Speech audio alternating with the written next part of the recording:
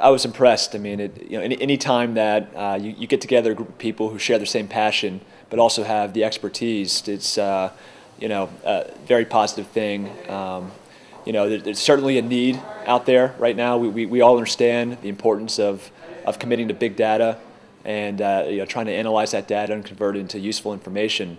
And to have a combination of uh, people like myself, who I kind of represent the athlete and also the academic, but you have the practitioner. Um, you know, this is what what we need to do. We need to come together and uh, you know discuss best practices and uh, get stronger moving forward arguably the United States is the home of sports analytics with the, the very popularized story of Moneyball and Billy Beane now. What did you make of the, the scene, the analytics scene in the UK? Uh, you know, I, have actually been pleasantly surprised. I, you know, I, I wasn't aware of um, how many clubs hire performance analysts and, and, and all the attention that, that, that or I guess I, I, should say attention or awareness that this is important. Um, you know, I, I think it's just, we're, we're trying to figure out uh, the best way to implement it and to you know reach that manager you know reach the soccer purist and say hey you know th- this can, can really help. It doesn't jeopardize the integrity of the sport. Um, you know everyone's competitive. You're trying to get a competitive advantage. This is this is the way to do it. Um, so it's um, you know it was a pleasant surprise and, and I, I, think there's, there's there's good momentum right now.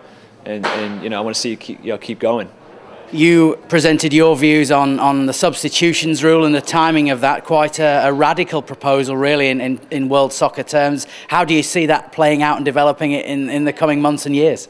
Well, uh, you know, wh- whether or not it's going to actually be listened to and, and, and, followed by the managers is one thing, uh, but uh, you know, I, I, think being in an event like this, uh, I, have been able to reach multiple clubs, so I would imagine that uh, you know the idea will be bounced around and maybe actually suggested to to managers, and it'll be interesting. I'll be paying attention to kind of over time, and, and you know I track the, the participation rate, and right now I had it at about 30 percent, and see if that number changes. You know, if it changes, then that's that's some evidence that uh, you know it could happen. And this is just just this is just one example of, of, of many types of recommendations that you know are driven through analytics that um, you know coaches can potentially follow. So we'll see about the substitutions thing. It'll be interesting finally, uh, you, your your first time in Manchester, I presume. Um, what did you make of the whole the whole event, the whole city, the first time in the, the capital of world soccer, dare we say? I, I mean, I, I, have so much uh, so much respect, uh, you know, for the city, for um, you know, in, in, in, soccer terms of, of, of the tradition with with, with uh, you know, arguably one of the best clubs in, in, in the world in Manchester United. That's uh, you know, storied franchise, and then an up and coming big club with Manchester City that obviously did something uh, you know, tremendous last year with winning the, the, the title um, after many years.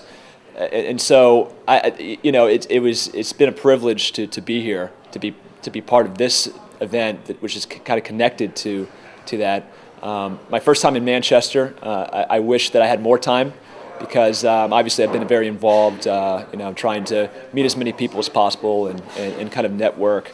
Um, and so, you know, plan on maybe going out tonight and, and, and experiencing more about the city. But I think this is some, a place I want to revisit in the future, and hopefully, uh, you know, some of these connections I've made will turn into kind of long-lasting relationships where, you know, I, I could make it a, a, regular habit to, to, you know, to come to places like Manchester to, to visit and present in, in, in a conference or you know, uh, things like that.